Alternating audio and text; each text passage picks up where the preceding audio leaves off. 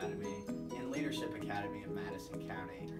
I have worked with Pam Shute for several years now and can honestly say that she is one of the most passionate people that I know. She teaches servant leadership to adults and youth here in the county. She just is so passionate and has so much belief um, in the youth of our community. She has poured herself literally into the Youth Leadership Academy for 20 years now. She's the original program director and it really is her baby.